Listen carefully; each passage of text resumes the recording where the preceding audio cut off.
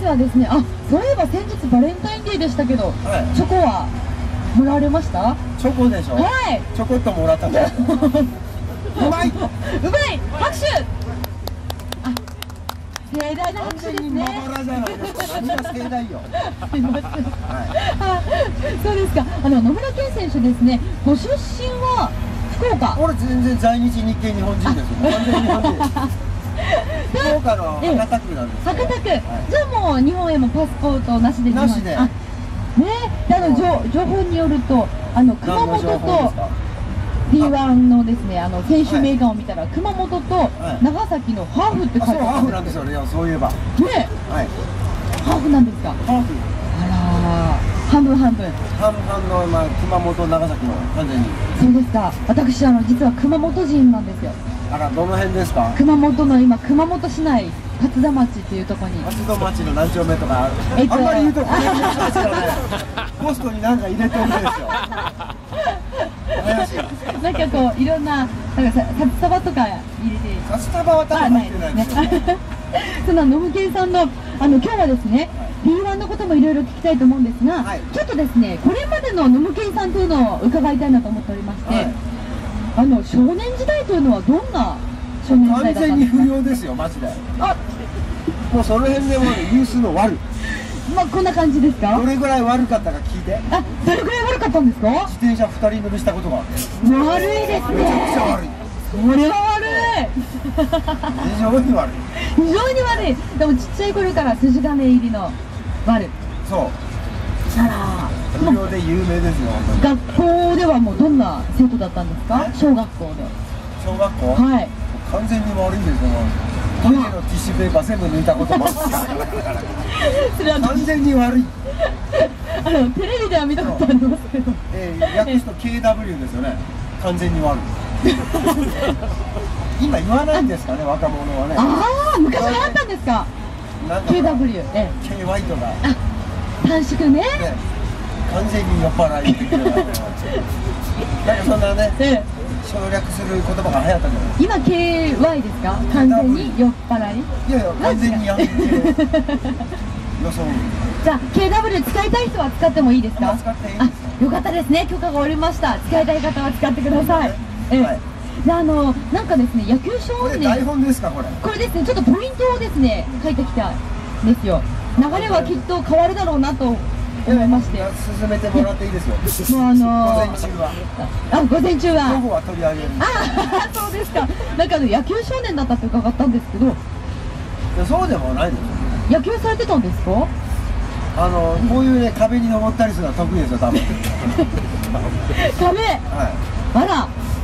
なんい野球見ることはないですけどええええ。野球をしてた。昔やったことは。ああポジションはちなみに。あ外野ですよ外野。外野の外。お客みたいな。ライオンズってあったんですよね昔ね。はい。今のホークス。あファンクラブに入ったことがある。ええ。試合も見に行ってたんですか？な2回ほど。二回。あるんですよ2回しか見に行かないファンクラブの会員にもなかなか、ね、いないですよね,、まあええ。そしてなんかスポーツがすごい万能だったっていうのもね伺ったんですけど。万能じゃないですよ。あら。球技。球技？球技球技。ええー、球の技とかく球技ですね。え そのままですね。球がえこれいろいろやってえはい。パチンコだのボーリングだのもう完全にスポーツ。そうですか。パチンコもスポーツなんですね。あれは一球入魂のスポーツですよねあら一球で決まりますもんね勝敗がね。そう。ええ運も。そうなんですか。でなんかあのスポーツがすごい万能というのはね伺ってそれ球技だったんですね。そう。でスポーツ特待で高校入学したっていうのはよく知ってますね。はい調べてまいりました。はい。一応そんな感じで行ったええ系です。ねあただですよ、らはい。以上。まあ息が合わんですよね。名前も知らんもんだって。私あの高橋久美子と言います高橋。高橋久美子です。どっちの名前で呼ばれるんですかいつもえっ、といつも久美ちゃんと呼ばれることがはい久美さんとか。それで行きましょう。あよろしくお願いします。この人は何なんですか？えっ、とオートポリスのですねサーキットクイーンで6名いるうちの1人今日は。選ばれた。選ばれしね。はい。まおりちゃんです。まおりちゃん。あのスリーサイズをちょっと聞きたくないですか？あら。ちなみに俺はね5080喜んで喜ん でというサイズがあるんですねそうそう。まあ人類においても少ないんでしょうけどね皆さん。初めて聞きましたね、はい。進めましょうか。ね。あ、あいいですか？話がねそれる。そうですね。じゃあちょっと戻しつつ。台本台本台本合ってないようなもんなんですけどはい。あ、はい、午前はじゃあ進ま進めさせていただきます。そしてですねいろいろ調べたんですけどいろいろ調べた中でびっくりしたのがあの協定の養成学校大和協定学校というところになんか入校されたという。あそれは最近の大和ですよね。昔はね、はい。元市教習所ってあの山梨県だったんです。あそこに入校されたんですか？福岡にあるっぽいですけど。入あ校しとらんですああしてないですか？行こうかなと思っただけですよ。そうなんですか、は完全に調べるのはミスですねこれそれは調べるミスですねああ私入校されたと思ってはい。協定の道も目指されてたのかなと思ったですよ。なんりたいなと思っただけです。よ憧れたんですか？一応試験は受けに行ったんですけどね。はい。落ちた。やっぱり。やっぱり落ちた。ええ協定の試験ってどんなのが出るんですか？あのねはい皆さん知らないですよね。1週間ぐらい続けてあるんですよ。まず試験が。福岡ではい。え350人ぐらい集まってえなりたい選手みたいな。ねえ。はいでなんか筆記試験みたいなこれね中学生の入試みたいなほんと簡単な問題が出てではい350人いたんですね。ええ。でそれで合格したのが6人でで今度山梨にはい。集まって今度400人ぐらいやっぱおるんですよ。ええ。で山梨の前に東京の、えー大きな病院があってうん全て体中調べられる。うわー。もうフリチン状態ですうよわー。じゃあ喜んでももう解放した状態で。喜んででこう よしよし。え？あーオッケーみたいな。そこで約半数に減るんですね。はい。でそれで山梨。はい。でそこで集まったのがやっぱ200人ぐらいいて、ええ。え1週間立て続けに試験があります。うわー長いですね。で1日、えー終わったら、うんえー番号がいっぱい出るんですよ。はい。で番号が出た人、ん。えーどうぞ外のバスにお乗りください返されて。はい。で最終日まで行ったんですえよえでそれがまあ50人ぐらい。うん。で番号出るじゃないですか。はい。俺のがないと。合格したなと思ったらこの番号の人は合格ですみたいな。ええ逆だったという最後だけ。そういうオチだったんですね最後。わあじゃあ目指して最終まで行ったけどそうダメになった。はしてないと。で最終日がやったのが面接ですよ。ああ大事ですよね面接。で落ちました。じゃあ能力はあったのに。すごいのなんかお皿に大豆が100個ぐらい乗ってて箸でこう掴んでこう。ええ？え協定の試験でそんなのするんですか？そうですよ。なんかねややこしいですよ本当に。ええ針に糸通したりしたですよ。これ本当に？それは何のためにですかね？何なんですかえね、えあ目の視力とかなんですかね？うん。まあいろんな経験されてますね。じゃあですねそうやって協定の試験を受けて目指したりとかされてドリフトにはいつ出会われたんですか？いつ？うん。あ多分ね2 5 6の時です。らじゃあこの協定とかを目指した後？あとぐらい。いこれどんなきっかけだったんですか？はやきっかけというよりもあの、うん。動くものが好きで。いもうタイヤがついてりゃ何でも好きだったんですええ二輪も四輪も？何でも。もはい。う台車でも何でも。もう乗れるものは乗ってしまおうというタイプなので、えええでなんかそのえうん。たまたまはい。そういうなんかビデオかなんかで見たんですよね。ドリフトの。キンキン言っとるの。すみません。えええでちょっとやってみよう。簡単そうだなと思っえはい。てでもしかしたらモテるのかなと。あ あなるほど、はええ。でやりました最初やってみた時ってやっぱ思い通りにできたもんですか？いやそんなもん鉄くずですよ車は。あその日に。あはい。その日に？その日に鉄くずになったんですね。ちなみにそれ何に乗ってたんですかあ最初？のねレビン。でそれを持ってつくずにしてしまって。いわゆる86というやつ。はいはい。もうゴミですよ本当に。もうやっぱ今 D1 でその入門というか最初にその86でっていう方多いって聞きますよねまあ昔ねそれしかなかったんですよねそう鉄くずにしたけどでもなんかそこでも嫌ってはならなかったんですよね。まあなんとなくならなかったですへえ。そこからですね。その今はやっぱりこう白煙番長、まあ、私もこう素人目線からいろいろ伺わせていただきたいと思うんですがやっぱりこうドライビングスタイルとしてこう派手っていうんですか？白煙番長っていうこうやっぱイメージ持ってる方が多いと思うんですけどそういうテクニックって最初どんなとこで練習したんですか？テクニック？テクニック。まあその辺のあの峠とか行っちゃいかんですよね、これ。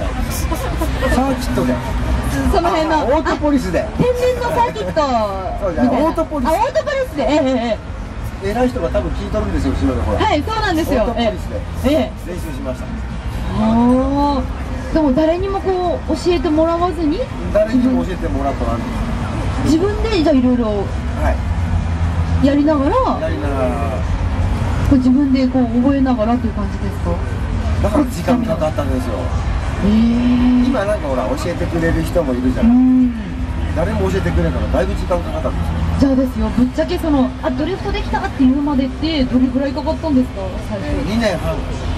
そんなにかかるもんなんですね。あの峠峠じゃないやオートポリスで はい。湘南がドリフトできたら2年かかったんですよ本当に。うわー。そうですかそうそう2年かかっていろんなとこでも練習しながら磨いていって気づいたものなんですね。はい。でもそんななんか自分のてご自分のテクニックとかそのビデオとかはい。雑誌とかでいろいろやっぱ公表ってされてますよね。